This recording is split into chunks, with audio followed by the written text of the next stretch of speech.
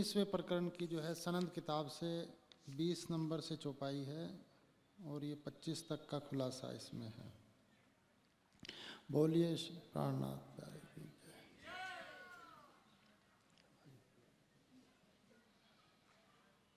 चौपाई है, मोहम्मद पहले आय के बरसाया हक का नूर, कई विध करी मेहरबानगी पर किने न किया शऊर। मोहम्मद पहले आय के बरसाया हक का नूर। आप हक श्री जी साहिब, आप महमद साहिब जुमा फरमाते हैं कि सुंदर साथ जी, जब ब्रज और रास की लीला हो गई तो उसके बाद जब ये सृष्टि नए सिरे से बनी तो इसका वर्णन हर ग्रंथ के प्रमाणों में है। सभी धर्म ग्रंथों के अंदर इसका विवेचन है, वर्णन है।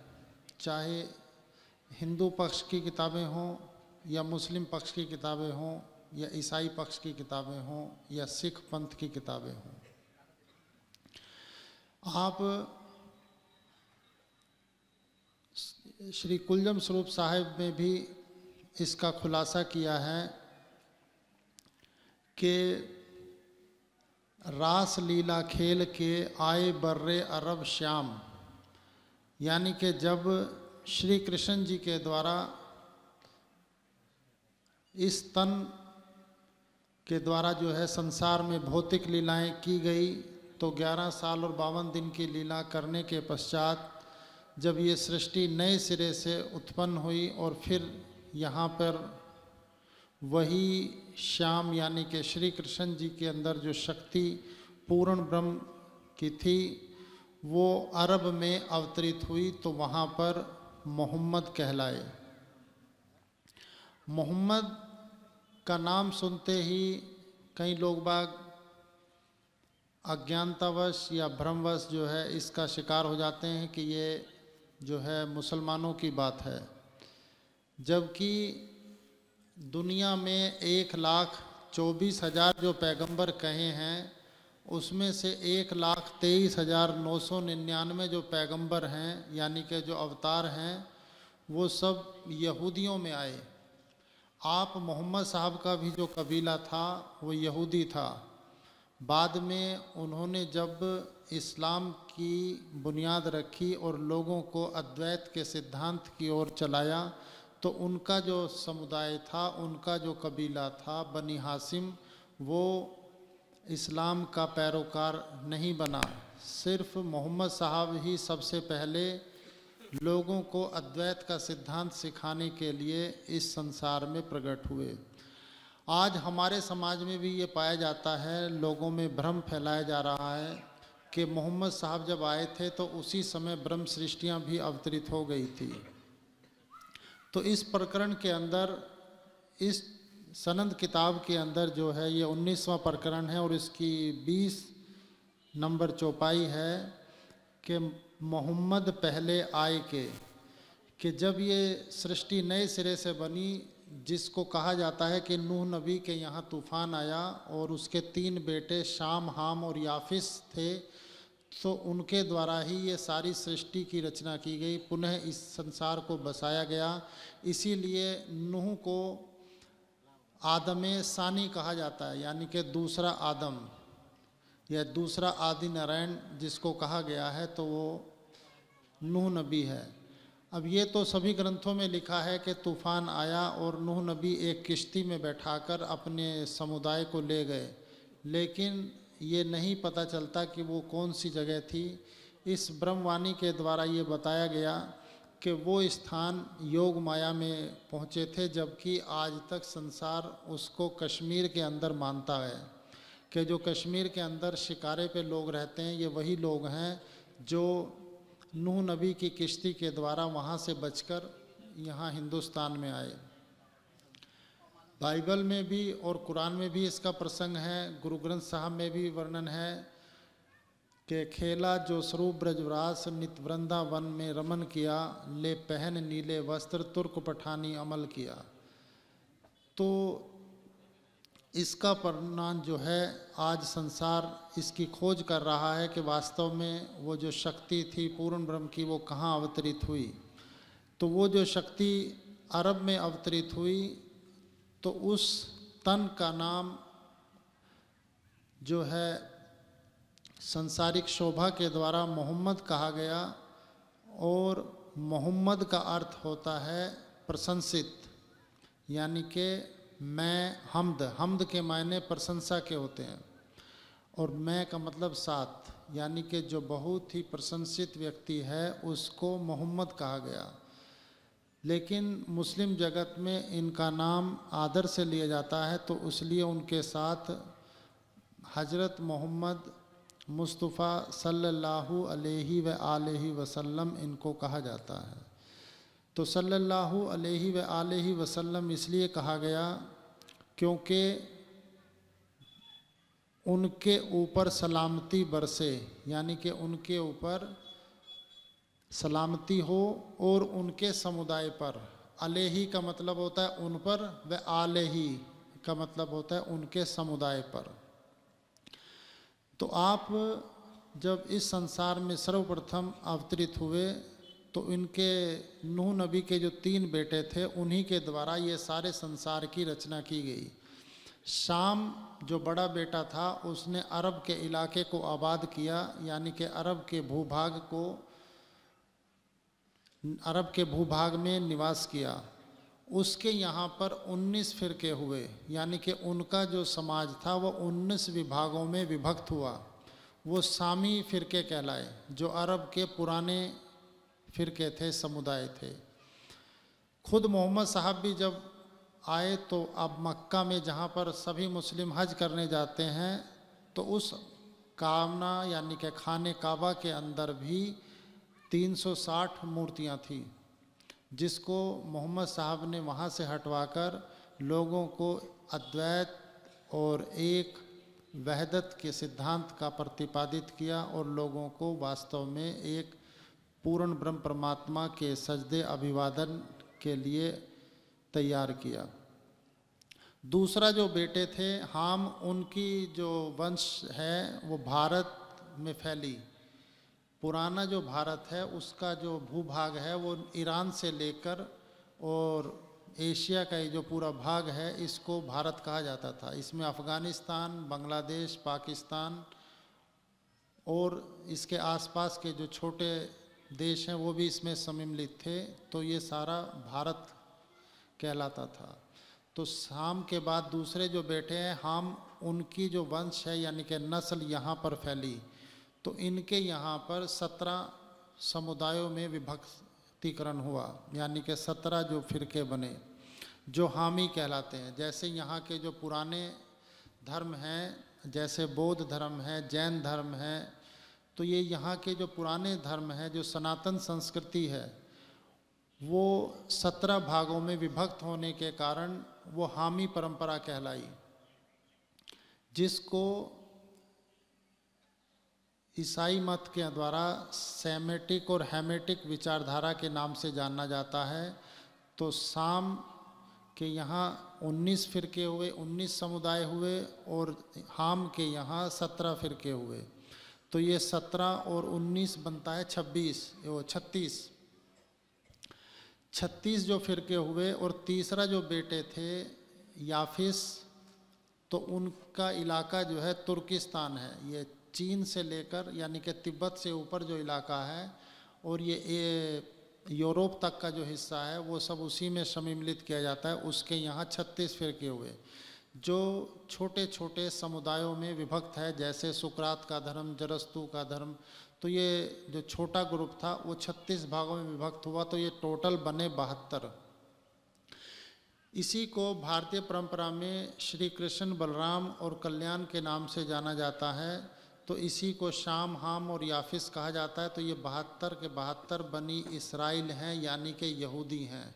और इस बनी इसराइल, यानी कि यहूदियों के अंदर ही एक लाख तेईस हज़ार नौ सौ निन्यानवे पैगंबर यानी कि अवतार अवतरित हुए। अब जो आखिरी जो अवतार कहा गया, जिसको मोहम्मद साहब कहते हैं तो आप मोहम्मद मुस्तफ़ा सल्लल्लाहु अलैहि व वसल्लम को ख़ातमुल नबी कहा जाता है, यानी कि आखिरी नबी या आखिरी अवतार। तो उनका जो वंश परंपरा है, वो बनी इस्माइल है और बनी इस्माइल भी यहूदियों में से ही निकले हैं। तो ये टोटला जो है तिहत्तर फ़िरके बने तो ये कुल जो तिहत्तर फ़िरके बने, इसी में सारे संसार के अंदर रचना की गई और सारा संसार इसी में विभाजित है।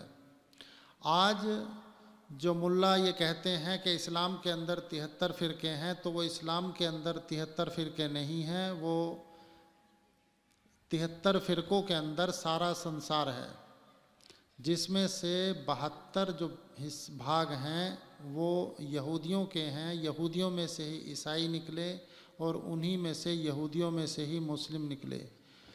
तो यहूदी परंपरा और भारतीय परंपरा दोनों एक है, जैसे जो हिंदू धर्म, जो जिसको कहा जाता है, वास्तव में उनका और यहूदियों का वैचारिक स्तर और रहन सहन जो उनकी पूजा पद्धति है, वो एक समान जैसी मानी जाती है। जैसे यहाँ भारत में आर्य समाज के द्वारा हवन किए जाते हैं, या सनातन परंपरा के अंदर भी हवन का प्रचलन है तो यहूदी जो परंपरा है, वो भी अग्नि को पवित्र मानते हैं और उनके मंदिरों में, यानी कि उनके धर्म स्थल जो हैं, उनमें भी दिन रात अग्नि प्रज्वलित रहती है।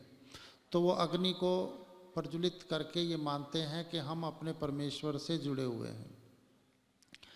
अब दूसरी बात ये आती है कि जो बाकी जो समुदाय आए, जैसे जो भी समाज या धर्म या संप्रदाय बनता है, वो बाद में बनता है। जो इस्लामिक जो परंपरा है या ईसाई जो परंपरा है, वो कभी भी दूसरे की कंपैरेटिवली स्टडी के लिए प्रेरित अपने समाज को या अपने प्रचारकों को नहीं करते। और अगर कंपैरेटिवली स्टडी करते भी हैं तो सिर्फ़ जो दूसरे समाज के वीक पॉइंट है, यानी कि कमज़ोर बिंदु हैं, उन्हीं पर वो ध्यान केंद्रित करवाते हैं। तो यहाँ पर इस प्रकरण के अंदर बताया गया है कि मोहम्मद पहले आए के, कि जब ये संसार पुनः नए सिरे से बनाया गया तो इसके अंदर सबसे पहले मोहम्मद साहब अरब में अवतरित हुए। जैसा कि हदीसों में वर्णन आता है, अव्वल माँ खलकुल्ला नूरी, यानी कि जब दुनिया में कुछ भी नहीं था तो मेरे नूर को बनाया गया। और दूसरी हदीस में कहा गया है, मोहम्मद नूर अनामिन अल्लाह व कुल शैमिन नूरी, कि आप मोहम्मद साहब कहते हैं कि मैं, मुझको अल्लाह ने अपने नूर से बनाया। यानी कि आप मोहम्मद फरमाते हैं कि मुझे अल्लाह ने अपने नूर से बनाया और कुल शय मिन नूरी ये चौपाई के अंदर मार्फत सागर में भी इसका वर्णन है। तो ये एक हदीस है कि कुल शय शय के मायने समस्त संसार के प्राणी और जो भी कुछ संसार में है, वो सब उनके नूर से बनाया गया। तो यहाँ पर ये कहा गया है कि मोहम्मद पहले आए के बरसाया हक का नूर। तो जब मोहम्मद साहब अरब में अवतरित हुए तो अरब की व्यवस्था बहुत बिगड़ी हुई थी। वहाँ बच्चियों को ज़िंदा मिट्टी में दफना दिया जाता था और शराब का प्रचलन आम था। खाने पीने का कोई प्रतिबंध नहीं था, रहन सहन का कोई प्रतिबंध नहीं था। आपस में एक दूसरे से कबीले झगड़ते रहते थे और जुआ खेलना और समाज के अंदर जितनी भी बुराइयाँ व्याप्त थी, वो अरब के अंदर उस समय प्रचलित थी। तो मोहम्मद साहब ने वहाँ पर अरब में आकर आप ने अवतरित होकर वहाँ के लोगों को सभ्यता सिखाई और उन लोगों को एक अद्वैत का सिद्धांत, यानी कि एक परमात्मा, एक रब की इबादत करने का तोहीद का रास्ता बताया। यहाँ तक कि मोहम्मद साहब ने लोगों को हाथ धोने के लिए और नहाने के लिए खाने का भी तरीका बताया, क्योंकि वो सब जंगली लोग थे। वो ज़िंदा ही प्राणी को पकड़ते थे, ज़िंदा ही पशु, पक्षी, जो भी उनके हाथ लगता, उसी को मार के वो खा जाते थे। तो ऐसे इलाके में मोहम्मद साहब ने लोगों को बताया कि जहाँ पानी की किल्लत थी, यानी कि पानी कम होता था तो उन्होंने बताया कि हाथ जो है, आप जो है, अपने शरीर के चौदह अंग को धो लीजिए। तो चौदह अंग पवित्र करने से आप पवित्र माने जाते हैं। और अगर आपके पास पानी भी नहीं है तो आप मिट्टी से धो, कर लीजिए। कि मिट्टी से हाथों को, मुँह को धो लीजिए, उसके बाद आप प्रार्थना कीजिए। तो अब अरब में, क्योंकि पानी की कमी थी, वहाँ पेट्रोल सस्ता है और पानी महँगा है तो वहाँ पर पानी के बचाने के लिए आपने फरमाया कि हाथ पानी ऊपर से डाल के नीचे यहाँ तक धो लीजिए। अब वही परंपरा अगर यहाँ भारत में भी बताई जाती है तो वो एक हास्यापद स्थिति है। तो ये जो शरीयत बनाई है, ये शरीयत मुल्लाओं ने बनाई है, कुरान के अंदर जो शरीयत है, वो ये शरीयत नहीं है। अब अगर यहाँ भारत में पानी की किल्लत नहीं है और पानी की किल्लत ना होने के बावजूद भी हम हाथ अरब के तरीके से धोएँ तो इसको हम सिर्फ़ एक परंपरा पालन के रूप में कह सकते हैं, अन्यथा यहाँ पर ऐसी कोई रस्म व रिवाज नहीं है। अरब के लोग कई कई दिन महीनों महीनों नहीं नहाते थे, जैसे यूरोप के लोग छः छः महीने नहीं नहाते। तो यहाँ भारतीय परंपरा में ऐसा नहीं है। यहाँ पे तो गरीब से गरीब आदमी भी कम से कम हफ़्ते में या रोज़ तो नहाने का प्रयास करता ही है। तो ऐसे कठिन समय में अरब के अंदर जो शरीयत लागू की गई, उसको शरिया मोहम्मदी कहा गया।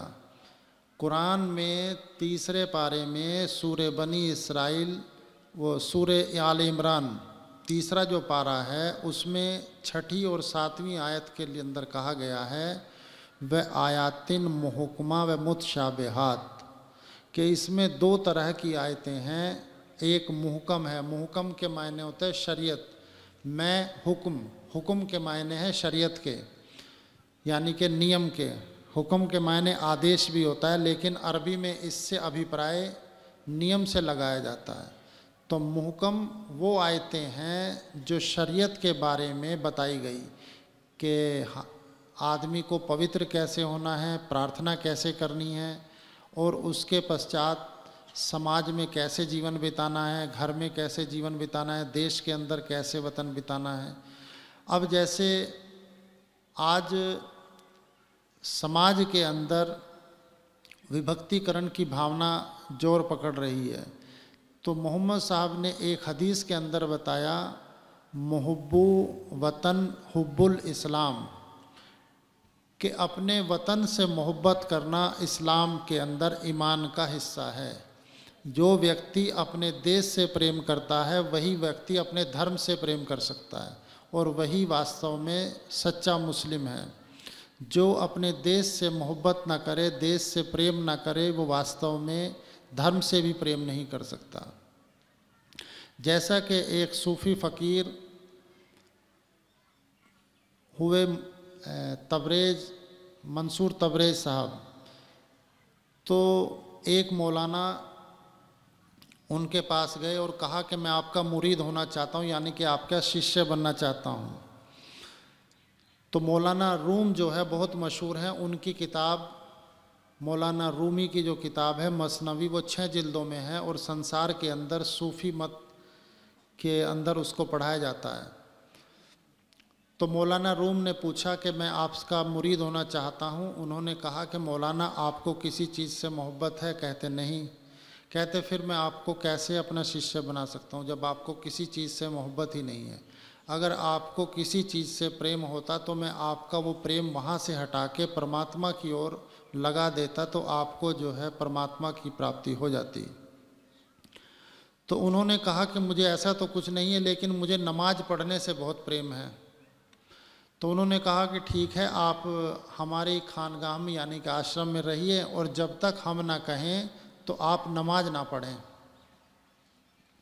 तो मौलाना ने कहा, ठीक है, उन्होंने हामी भरा। कहते हैं कि ठीक है, मैं नमाज़ नहीं पढ़ूँगा जब तक आप नहीं कहेंगे। तो एक दिन बीता, दो दिन बीता, इस तरह करके पाँच दिन बीत गए। अब छठा दिन जो है, वो शुक्रवार यानी कि जुमे का दिन आया। अब मुल्लाओं ने जो शरीयत बनाई है, उसमें कहा गया है कि, भाई, अगर आदमी कोई दिन में पाँच वक्त फ़र्ज़ नमाज़ नहीं पढ़ता है तो वो कम से कम जुमा तो पढ़े, यानी कि जुमे के दिन नमाज़ पढ़े। अगर वो जुमे के जुमे भी नमाज़ पढ़ लेगा तो मुसलमान रहेगा। अगर जुमे की नमाज़ भी कजा कर देगा, छोड़ देगा तो इस्लाम ख़तरे में आ जाएगा और वो मुसलमान नहीं रहेगा। अब मौलाना ने देखा कि भाई जुमा आ गया है तो अब जुमा तो पढ़ना है। तो फ़कीर तबरेज मंसूर साहब ने कहा कि भाई मैं बाहर जा रहा हूँ और उनका इम्तिहान लेने के लिए कहा कि मैं थोड़ी देर में लौट के आऊँगा। तो मौलाना ने देखा कि मौका अच्छा है, उन्होंने फटाफट अपना मुसल्ला, यानी कि जो आसन जो बिछाया जाता है, जिस पे नमाज़ पढ़ी जाती है, उसको बिछा ले और नमाज़ पढ़नी शुरू की। तो नमाज़ में तीन हिस्से होते हैं। एक फ़र्ज़ होता है, एक सुन्नत होती है और एक नफल होती है। तो उन्होंने फ़र्ज़ नमाजें पढ़ लिया। तो जब फ़र्ज़ नमाजें हो गई तो सुन्नत पढ़ने की बारी थी तो फ़कीर मंसूर तबरेज आए उन्होंने आवाज़ दी तो मौलाना ने फटाफट अपना जा नमाज़ बिछाया, जो हुआ था उसको लपेटा और तख्त के नीचे रख दिया। तो रात में जब मौलाना सोए तो मोहम्मद साहब ने आके कहा कि मौलाना हमें भूल गए। तो सुन्नत का मतलब क्या होता है? परंपरा। कि आपने हमारी परंपरा का नहीं पालन किया कि आपने आधी नमाज़ पढ़ी।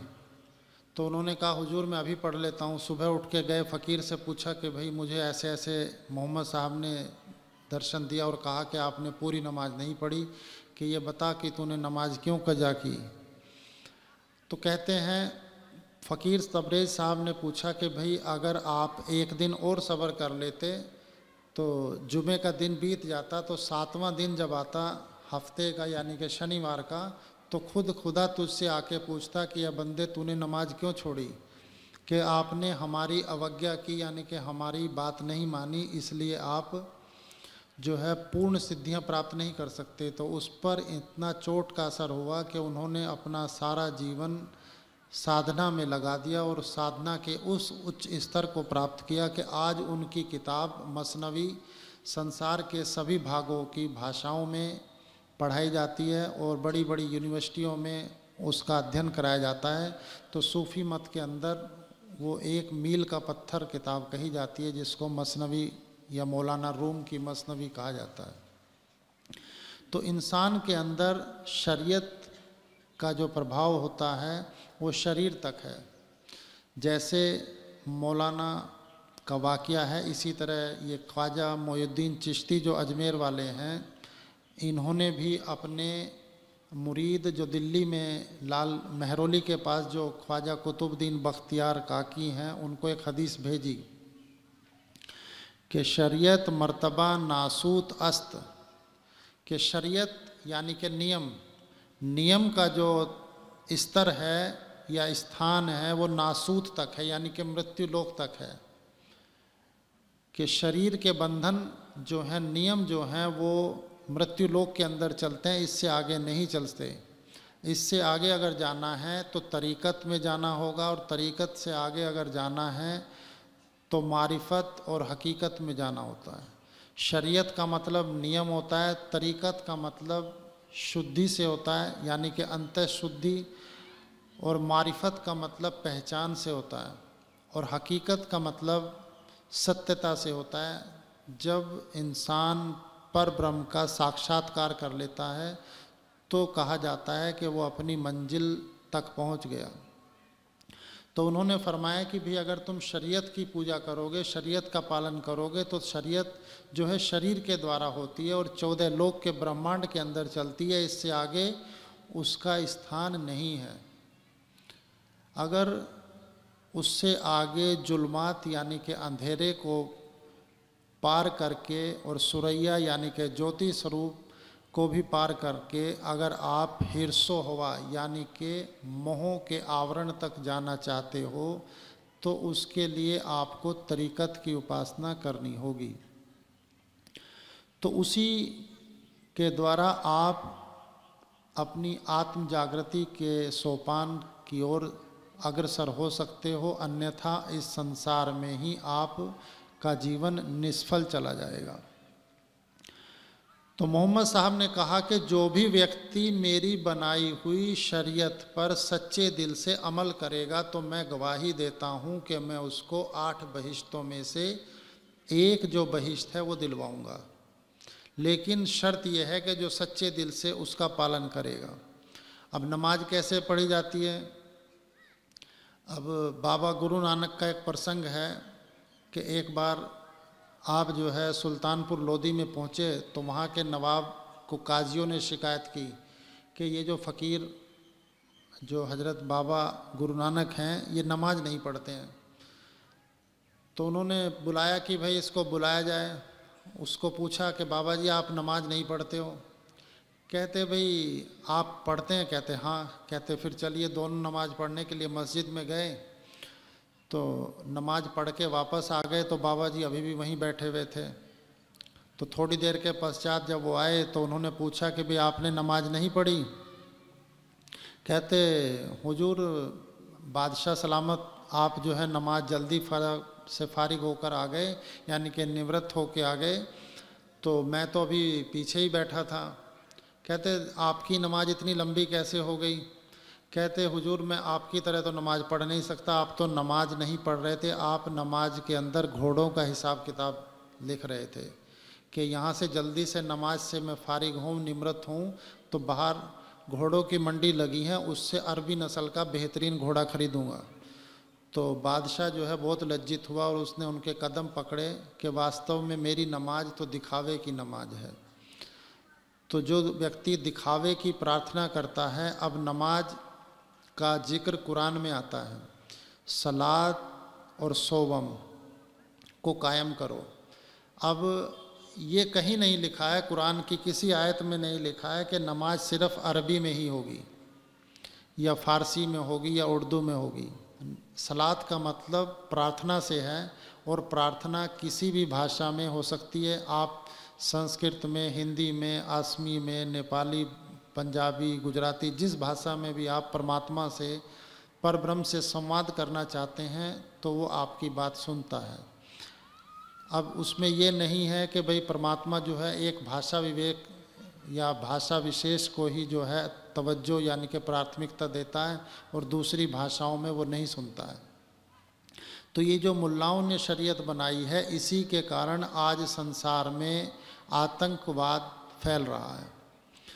सारी दुनिया के अंदर जो आतंकवाद का जो मेन केंद्र है, वो वहाँ भी विचारधारा है।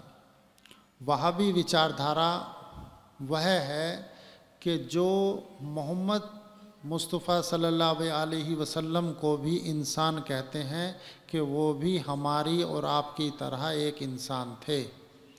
जबकि कुरान में इसका वर्णन तो है कि मैं भी हूँ बसर तुम्हारी तरह, लेकिन साथ में आगे भी आता है और मैं लाता हूँ बही अपने रब से तुम्हारे लिए। तो अगर हम एक इंसान माने तो मोहम्मद साहब को अगर हम एक इंसान मान लेते हैं तो आप को अगर एक इंसान मान लिया जाए तो फिर ये विचारधारा दोनों में विवाद है। बहाबी जो कहते हैं कि आपको इल्म गैब नहीं था। जो बरेलवी विचारधारा है, वो सूफी विचारधारा, वो कहती है कि आपको इल्म गैब था, यानी कि भेद, रहस्य संसार के और उससे परे के परमात्मा के जो रहस्य हैं, वो उनको ज्ञात थे। अब ऐसे कई प्रसंग आते हैं, जिसमें आप ने जो है अपने गैब इल्म के होने का दावा किया। अब ये तो सभी मानते हैं कि जब मोहम्मद साहब शरीर छोड़ने लगे तो उनकी बेटी जो फातिमा थी, वो आई। अली ने उनको कहा कि भी आपके पिताजी संसार से रुखसत हो रहे हैं तो आप अपने बाबा से मिल लीजिए। तो वो रोती पीटती आई। तो मोहम्मद अरबी ने उनको कहा कि भाई, उनके कान में कहा कि आप मत रोइए, आपके छः महीने के अंदर ही आप मुझसे आके मिल जाएँगी। अब जब मोहम्मद साहब का देहांत यानी कि अंतर ध्यान जब मोहम्मद साहब हो गए तो उनके छः महीने के बाद ही उनकी बेटी जो फातिमा थी, वो भी इस संसार को छोड़कर चली गई। तो ये इल्म गैब होने की एक दलील है, जिससे ये कहा जाता है कि आपके पास इल्म गैब था। चलिए, इसको भी अगर हम एक तरफ़ रखें तो इस चौपाई के अंदर बताया गया है कि मोहम्मद पहले आए के बरसाया हक का नूर अरब के ऐसे हिस्से में जहाँ कोई मानवता नाम की चीज़ नहीं थी, चारों ओर सामाजिक बुराइयों का बोलबाला था और ऐसे समय में आपने पर ब्रह्म का नूर को वहाँ बरसाया। लोगों को सभ्यता सिखाई, अद्वैत के सिद्धांत पे चलना सिखाया और लोगों को एक जो है परमात्मा के प्रति समर्पित होकर एक राष्ट्रवाद का सिद्धांत उन्होंने सिखाया। कई विध करी मेहरबानगी, उन्होंने कई तरह से उन पर अपना प्रेम अनुग्रह बरसाया। मेहरबानी का मतलब कृपा होता है और मेहर का मतलब प्रेम होता है। तो आपने प्रेम के वसीभूत होकर उस इलाके पर जिन्होंने उनको बहुत सताया खुद मोहम्मद साहब को, उनके कबीले के लोगों ने इतना सताया कि वो 11 साल के बाद मक्का छोड़कर मदीना की ओर पलायन करने को मजबूर हो गए। तो वहाँ से ही हिजरी साल शुरू हुआ। हिजरी का मतलब होता है हिजरत, यानी कि पलायन करना। पर किने न किया शऊर। शऊर का मतलब होता है विवेक, कि किसी ने भी विवेक के द्वारा ये विचार नहीं किया कि वास्तव में मोहम्मद साहब कौन है। यानी कि आप मोहम्मद कौन हैं और हम कौन हैं, इसका विवेक के द्वारा उन्होंने विवेचन नहीं किया, ना ही उस रहस्य को समझा। अगली चौपाई में आता है, ए शूर तो करे जो होए अर्श अरवाह के कुरान जो मोहम्मद साहब लेके आए तो उन्होंने उसमें शर्त रखी कि भाई मैं अब आया हूँ और मेरे भाई बाद में आएँगे। तो लोगों ने पूछा कि जो चार बड़े यार थे, हज़रत अबू बकर, उमर, उस्मान और हज़रत अली मुर्तज़ा, उन्होंने कहा कि क्या हम आपके भाई नहीं? तो उन्होंने पहले जो तीन खलीफा थे, उनको कहा कि आप मेरे भाई नहीं, आप मेरे यार हैं। जो मेरे भाई होंगे, वो बाद में आएँगे।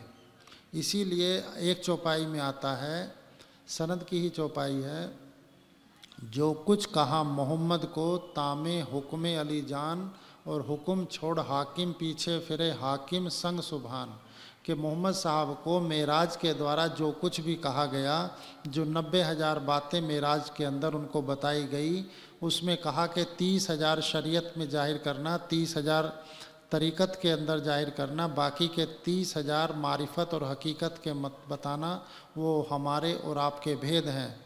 तो वो जो तीस हज़ार उन्होंने बताने के लिए कहा था, वो अली को उन्होंने बताई और अली के बाद बड़े बड़े जो सूफ़ी पीर फ़कीर हुए, उनके द्वारा वो संसार में बातें पहुँचती रहीं। अब वो रहस्य किसी किताब में नहीं लिखा था, नहीं तो सारे वहाबी उसको पढ़ लेते। आज सारे संसार में आतंकवाद का जो बड़ा सोत्र है, वो वहाबी विचारधारा है। और वहाबी विचारधारा सऊदी अरब से पनपी। तो सऊदी अरब का जो बादशाह है, वो वहावी विचारधारा का सबसे बड़ा पोषक है और वो ये चाहता है कि सारी दुनिया में मेरा ही सिक्का चले। तो वो उसके लिए छल बल के द्वारा जब नियंत्रित संसार को नहीं कर पाया तो उसने आतंकवाद को खड़ा किया। आतंकवाद का जो हवा खड़ा किया है तो वो मरने और मारने के लिए एक दूसरे को तैयार हैं। तो मोहम्मद साहब के जाने के साठ साल के बाद ही सबसे पहला जो हमला हुआ छः महीने के अंदर उनकी बेटी जो बीबी फातिमा के नाम से मशहूर है, उन पर आतंकवादी सबसे पहला हमला हुआ। खुद मुसलमानों ने ही उनके घर का दरवाज़ा जला दिया और उस दरवाजे की ओट में वो जो खड़ी हुई थी, वो दरवाज़ा उनके ऊपर गिरा और दरवाजे के अंदर कीले होती थी ना, आजकल तो नहीं, वो पुराने ज़माने में लंबी लंबी कीलें दरवाजे के ऊपर होती थी। तो वो कीलें उनकी पसलियों में चली गई और उसी के दर्द से वो छः महीने के अंदर मर गई। तो जो मुसलमान अपने पैगंबर की बेटी पर ही हमला करके उसको मार दें तो वो काहे के मुसलमान? फिर भी कहते हैं कि हम मुसलमान। फिर दूसरा वाक्य आता है कि जब साठ साल ही हुए थे तो मोहम्मद साहब के नाती हज़रत इमाम हुसैन को जो है करबला के मैदान में बहत्तर आदमियों को सत्तर हज़ार की फ़ौज ने घेर के शहीद कर दिया। तो इससे बड़ा क्या आतंकवादी होगा? अब ना वहाँ पे कोई गैर मुस्लिम था, ना वहाँ पे कोई दूसरी जो है समाज के लोग थे जो शहीद होने वाला था, वो भी मुसलमान था और जो शहीद करने वाले भी थे, वो भी मुसलमान थे। तो मरने वाला भी मुसलमान, मारने वाला भी मुसलमान। अब अगर आजकल के समय में ऐसा कुछ हो जाए तो आरोप लगा दिया जाता है कि भाई ये जो है हिंदूवादी संगठन के लोग हैं, उन्होंने मुसलमानों को सता रहे हैं। तो भाई सबसे पहला हमला तो इमाम हुसैन के ऊपर मुसलमानों ने ही किया, मारने वाला भी मुसलमान, मरने वाला भी मुसलमान। ऐसे दौर में जब वो लोगों को ये कह रहे थे कि वास्तव में आप सच्चे दीन की ओर लौटो तो ये सारा जो प्रसंग है, ये इसीलिए बताया गया कि वास्तव में धर्म जो है, वो व्यक्ति के अंदर विवेक पैदा करता है। अगर किसी व्यक्ति के अंदर विवेक ना आए तो वह ऐसे ही हिंसक हो जाता है, जैसे कि अरब का इलाका। तो उसी लिए उन्होंने कहा कि वहाँ पर पहले के समान ही पशुओं जैसा समय आ जाएगा। तो आपने कहा कि वो जो पशुओं के समान हो जाएँगे तो पहले जैसी ज़मीन थी दाब। दाब के मायने पशु के होते हैं। तो दाब का अर्थ पशु होता है कि पशुओं के समान वो ज़मीन पहले जैसी हो जाएगी। जैसे सनद में एक चौपाई आती है, इल्ला यमन ला यकीन, कि यमन के जो लोग हैं, उनको यकीन नहीं है। क्योंकि उन्होंने कभी भी धर्म को लेने के लिए इस्लाम में प्रशिक्षित नहीं हुए। वो तो कुर्सी लेने के लिए इस्लाम में आए। जैसे कि मुआविया और अली की लड़ाई हुई तो मुआविया ने ये पूछा कि, ए मौला, ये बताइए कि मैं, आप मोहम्मद साहब के बाद कुर्सी पे कौन बैठेगा? तो हज़रत अली ने फरमाया कि, भाई, पैगंबर बैठे हैं, आप उनसे पूछिए। तो पैगंबर से पूछा तो पैगंबर ने कहा कि पहले नंबर पे हज़रत अबू बकर, फिर उमर, फिर उस्मान बैठेंगे और चौथे नंबर पे जो गद्दी पे बैठेगा, वो वो बैठेगा जिसने सवाल किया। तो सवाल किसने करवाया? अली ने।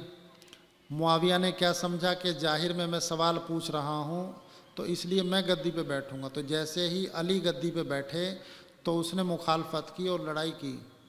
और यहाँ तक लड़ाई बढ़ी कि अली को मस्जिद में नमाज़ पढ़ते हुए उनकी पीठ में खंजर मरवाया।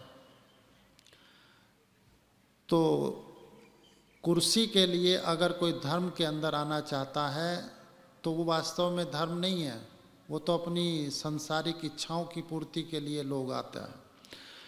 तो इसीलिए उन्होंने शर्त रखी कि जिन उम्मत के खातिर आवसी इत खुदाए अब उन्होंने कहा कि जो मेरे जो अनुयायी होंगे, वो कौन होंगे?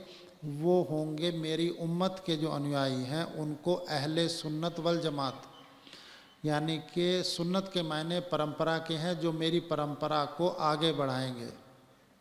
अब परंपरा क्या होती है? जैसे मोहम्मद साहब के पास दो लोग आए, दो ग्रुप आए। एक यहूदियों का था, एक ईसाइयों का था। तो मोहम्मद साहब मस्जिद नबी में बैठे थे। तो थोड़ी देर की बातचीत के बाद उन्होंने कहा कि, या पैगंबर, कि हमारी जो है, इबादत का वक्त हो गया है। तो आपने फरमाया कि, भाई, इसी मस्जिद के कोने में आप जहाँ चाहें अपनी तरीके से इबादत कर सकते हैं।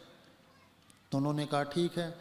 तो उन्होंने एक कोने में ही अपने अपने तरीके से दोनों अलग अलग कोनों में यहूदियों ने और ईसाइयों ने अपनी इबादत यानी कि प्रार्थना की। लेकिन आज हालत क्या है कि अगर सुन्नियों की मस्जिद में शिया चला जाए तो शिया काफिर, और शियाओं की मस्जिदों में अगर सुन्नी आ जाए तो सुन्नी काफिर, और फिर सुन्नियों के अंदर दो विचारधाराएँ हैं, देवबंदी यानी कि वहाबी और बरेलवी। अगर बरेलवी की मस्जिद में देवबंदी चला जाए तो वो काफिर, और दूसरे के अंदर आपस में ही एक दूसरे को काफिर बना देते हैं।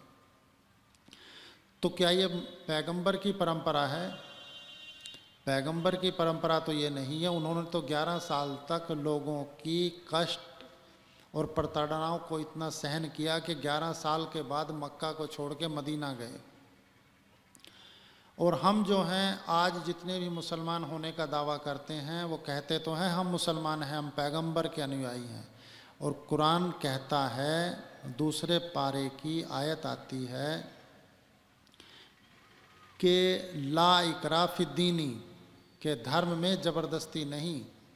धर्म एक आस्था का विषय होता है, लेकिन एक दूसरे के अंदर प्रताड़ना करना, एक दूसरे के धर्म को छोटा बड़ा बताना तो ये परंपरा नहीं हो सकती। अब जैसे शियाओं में और सुन्नियों में लड़ाई रहती है, शिया हाथ खोल के नमाज़ पढ़ते हैं, सुन्नी हाथ बाँध के नमाज़ पढ़ते हैं। फिर शिया जब है, पहले पैर धोते हैं तो सुन्नी जो है, पहले हाथ धोता है। वज़ू के लिए तो इसमें भी विवाद है। तो शरीयत तो एक ही है, यानी कि शरीयत वह है जो इंसान को सभ्यता सिखाए, जो संसार को, समाज को असभ्य बनाए, वो शरीयत नहीं हो सकती। इसीलिए कहा गया है कि जिन के लिए संसार में मोहम्मद साहब अवतरित हुए और कुरान लेकर आए, उन्होंने कहा कि मेरे बाद मेरे भाई आएँगे और वो जो मेरे भाई होंगे उन्हीं के लिए मैं ये कुरान लेके आया हूँ और वही इसको समझेंगे। अब संसार में जितने भी धर्म ग्रंथ हैं, उनका अर्थ या आशय उनके लिखने वाले या कहने वाले ने संसार में प्रसारित किया और संसार के लोगों को बताया। लेकिन कुरान के मायने मोहम्मद साहब ने ना तो किसी को बताए और ना ही सिखाए। यहाँ तक कि उनके जाने के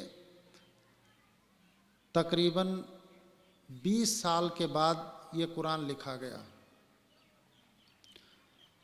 तो उसके मायने किसी को बताए नहीं, क्योंकि अगली चौपाई में जैसे कहा गया है, जो अर्श रूहें आई होती तो काहे को कोल करत, क्योंकि परम धाम की ब्रह्म सृष्टियाँ उस समय जब मोहम्मद साहब अरब में अवतरित हुए तो उस समय ब्रह्म सृष्टियाँ संसार में अवतरित नहीं हुई थी। संसार में जब अवतरित नहीं हुई तो मोहम्मद साहब ने शर्त रखी कि भाई मेरे जो भाई होंगे वो बाद में आएँगे। तो लोगों ने पूछा, वो कब आएँगे? तो कहा कि वो दुनिया में एक हज़ार साल में आएँगे। तो उसके बाद वो तकरीबन एक हज़ार महीने इस संसार में उनके ऊपर खैर उतरेगी, जिसको तीसवें पारे में इन्ना इंजुलना सूरत में कहा गया है। कि तनजुल मलायकतु व रूहू व फ़ीहा। अब बड़े बड़े मौलवी आलिम मुफ्ती जो है, इस आयत के तर्जुमा क्या करते हैं कि उतरती हैं फरिश्ते और फरिश्तों की रूह जबरील। लेकिन मलायक व रूह का जो अर्थ है, वो क्या है? मलायक के मायने फरिश्ते हैं, रूह के मायने रूह है, यानी कि आत्मा है। तो दोनों अलग अलग हैं। बीच में वह शब्द आ गया तो वह का अर्थ होता है, यानी कि और या एंड तो अगर दोनों में अंतर है तो दोनों जब अवतरित होंगे तो एक हज़ार साल के बाद होंगे, और एक हज़ार साल के बाद जब वो अवतरित होंगे तो एक हज़ार महीने तक उन पर खैर उतरेगी, यानी कि ये ब्रह्मवाणी उतरेगी। और एक हज़ार को बारह महीनों से आप डिवाइड करें तो बारह अट्ठे छियानवे, यानी कि तिरासी साल और सवा तीन महीने के करीब ये ब्रह्मवाणी अवतरित हुई, जिसके लिए एक हज़ार साल की शर्त रखी। तो कहा गया है कि जो अर्श रूहें आई होती तो काहे को कोल करत, सो कहिया पीछे आवसी ए लेसी सोई हकीकत। आपने फरमाया कि वो जो रूहें हैं, जो ब्रह्म सृष्टियाँ हैं, वो एक हज़ार साल के बाद संसार में अवतरित होंगी। और जब एक हज़ार साल के बाद संसार में अवतरित होंगी तो वो कुरान के रहस्यों को वही जानेंगे। और इसके रहस्यों को वही खोलेंगे। अब कुरान के अंदर दो तरह का ज्ञान दिया जाता है। एक जाहिरी, एक बातिनी। अभी जैसे तलाक का सरकार ने जो है कानून बनाया कि तीन तलाक क्या है। अब तीन तलाक क्या है? ये जाहिरी है, जिसको मुतशाबहात आयत कहा जाता है। चौथे पारे सूर्य निशा में इसका ज़िक्र है, यानी कि वर्णन है। तो ये दो तरह की आयतें हैं। एक का मायने स्पष्ट हैं कि नमाज़ पढ़ो तो पढ़ो, अब जैसे मर्ज़ी पढ़ो। दूसरा क्या है कि नमाज़ के बाद शरीयत के अंदर दूसरी बात जो होती है, निकाह या और तलाक की होती है तो तलाक का मतलब क्या होता है? संबंध विच्छेद करना। अब संबंध विच्छेद करने का तात्पर्य क्या है कि जब संसार में ब्रह्म सृष्टियाँ आई तो राज्य ने बताया कि भाई ब्रज में आए, रास में आए और जागनी में आए। तो पहली बार ब्रज में आए तो एक तलाक, दूसरी बार रास में आए, दूसरी तलाक, तीसरी बार जागनी में आए तो तीन तलाक। तो ये तीन तलाक है। अब मुसलमानों ने क्या समझा कि ये हमारे लिए है? वो आपस में ही, अगर बीवी ने खाने में नमक तेज कर दिया तो तीन तलाक। अगर घर में किसी बात पे गुस्सा आ गया, तीन तलाक। तो वो तीन तलाक नहीं है। तीन तलाक वास्तव में क्या है कि जो ब्रह्म सृष्टियाँ पर ब्रह्म से संसार में बिछड़कर तीन बार इस संसार में आई और तीन बार की लीला करने के बाद क्या है, जब चौथी बार वापस इस संसार में तीसरी बार के बाद जाएँगे तो पर ब्रह्म से जब मिलन होगा तो वो मिलन है। अब मौलानाओं ने अपनी शरीयत बना दिया कि भाई मियाँ बीवी में नहीं बनती, तीन तलाक। अब फिर उसमें समय रख दिया कि भाई तीन महीने और दस दिन की इद्दत बिताए। उसके बाद फिर क्या है कि भाई अगर आदमी गलती मान ले कि भाई चलो हम दोबारा से शादी करना चाहते हैं तो फिर उसमें नियम क्या बनाया कि भाई वो पहले किसी और से शादी करे, फिर उसके बाद वो उसको तलाक दे एक रात के बाद या एक महीने के बाद या एक साल के बाद और वो अपनी मर्ज़ी से दे। तो वास्तव में वो शादी कर सकता है, अन्यथा शादी नहीं हो सकती उस पर हराम। तो ये क्या है? इसको कहते हैं हलाला। तो ये क्या है कि संसार में जब ब्रह्म सृष्टियाँ आई तो उन्होंने इस संसार में अनेकों देवी देवताओं को अपना पति मानकर, अपना आराध्य मानकर उसकी उपासना की और अपने प्रियतम यानी कि राज्य को छोड़ दिया। और जब इस ब्रह्म ज्ञान के द्वारा, यानी कि तारतम के द्वारा जब उनको आत्म जागृति हुई, तब उन्हें राज्य का बोध हुआ और पुनः वो राज्य की ओर प्रेरित हुई और उन राज्य के रास्ते पर चली और संसार को तिलांजलि दी। तो ये है हलाला। अब उन्होंने क्या समझा कि हमारे लिए है? अब कुरान के एक भी शब्द के मायने मोहम्मद साहब ने किसी को बताए नहीं थे। उन्होंने कहा कि मैं दो चीज़ें छोड़ के जा रहा हूँ, एक कुरान और एक अहल बैत। कुरान से अहले बैत जुदा नहीं और अहले बैत से कुरान जुदा नहीं। अहले बैत का मतलब क्या होता है? घर वाले। बैत के मायने, घर के, अहल के मायने, वारिस। अब वो कौन है? कुरान के वारिस कौन? हम। लेकिन हम कुरान का नाम लेते हुए डर जाते हैं, हम घबरा जाते हैं कि कहीं हम मुसलमान ना हो जाएँ। तो भाई, कहने की बात क्या है कि वास्तव में ये जो ग्रंथ लेके आए, यानी कि कुरान का अर्थ क्या होता है? ज्ञान। ज्ञान से विवेक चक्षु खुलते हैं, तभी तो हमें उसका एहसास होता है। अब बड़े बड़े मौलवी दाढ़ी रख लें, लंबी, ऊँचा पजामा पहन लें और लंबा कुर्ता पहन लें और कहें क्या? कि हम बन गए हैं आलिम दीन और हम कुरान को जानते हैं।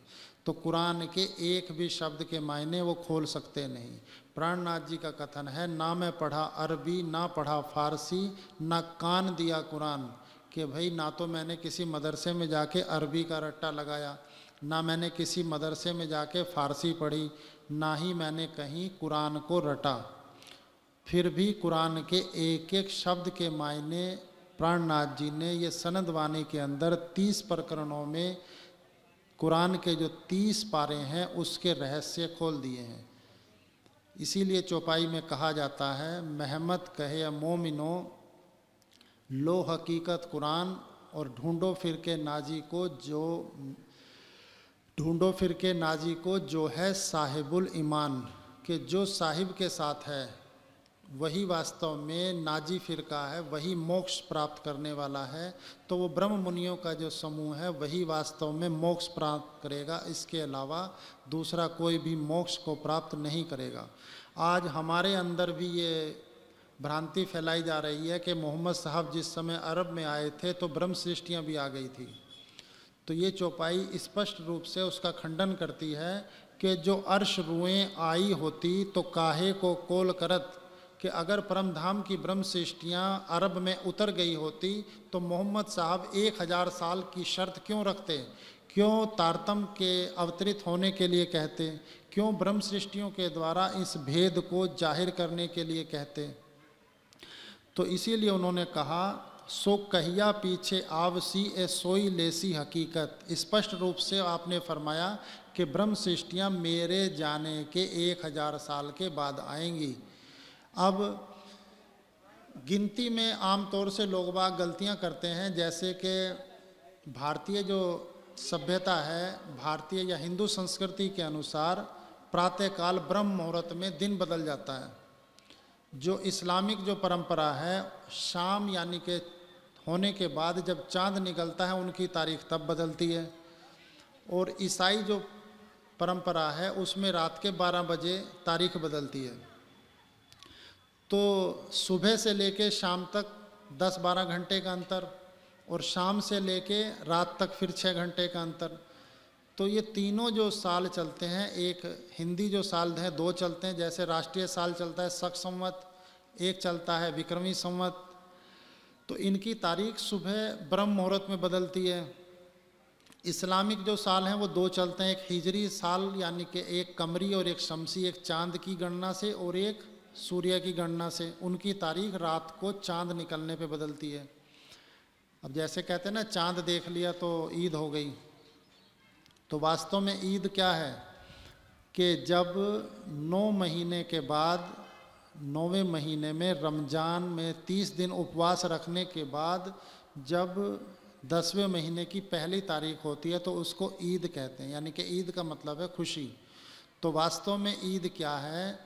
कि नौवीं सदी में जब ख़त्म हो गई, साल 990 मास नवद हुए रसूल को जब और रूह अल्लाह मिसल गाजियों मोमिन उतरे तब कि जब ब्रह्म सृष्टियाँ संसार में अवतरित हुई और देवचंद जी इस संसार में प्रकट हुए तो नौवीं सदी के बाद दसवीं सदी के प्रारंभ में देवचंद जी का अवतरण हुआ ब्रह्म सृष्टियों का अवतरण हुआ तो ये है ईद। अब मुसलमानों ने क्या समझा कि ये हमारे लिए कहा है? तो वो उसमें ईद मना रहे हैं। फिर उसके लिए जैसे प्रकरण के आखिर में आता है, नौवीं आगे अरफा ईद कही कि नौवीं सदी के बाद फिर क्या है? अरफा ईद है, यानी कि बारहवें महीने की नौवीं तारीख जो है, उसमें मोमिनों को कहा गया कि अपनी प्रिय चीज़ को कुर्बान करो। अब उन्होंने क्या समझा कि बकरा, भेड़, गाय, बकरी जो भी मिले उसकी गर्दन उतार दो तो ईद हो गई। तो ये अरफा ईद समझते तो वास्तव में वो ईद नहीं, ईद वो है कि जो मोमिनों ने अपने कुर्बानियाँ की और अपनी गुण अंग इंद्रियों को नियंत्रित करके राज्य की ओर लगाया और जो संसार के कोने कोने से जो ब्रह्म सृष्टियाँ तकरीबन पाँच हज़ार के करीब, पन्ना जी में, गुम्मट जी में जो है राज्य के साथ विराजमान हुई और वहाँ पहुँची तो उन्होंने अपनी गुण अंग इंद्रियों को नियंत्रित करके सर्वस्व अपना राज्य के ऊपर समर्पित किया तो उनकी अरफा ईद हुई। उनको कहा कि ईद उल जुहा, यानी कि कुर्बानी की ईद, प्रतिफल की ईद। तो लोगों ने उसका उल्टा समझा। तो इसीलिए कहते हैं कि भाई कुरान के मायने बिना तारतम के हो नहीं सकते। तारतम और कलमा दोनों को एक ही कहा गया है। जो अर्श रूहें आई होती तो काहे को कोल करत सो कहिया पीछे आवसी सो कहिया पीछे आवसी ए सोई लेसी हकीकत। सो लेसी हकीकत। प्रणाम। प्रणाम। अरे की जय।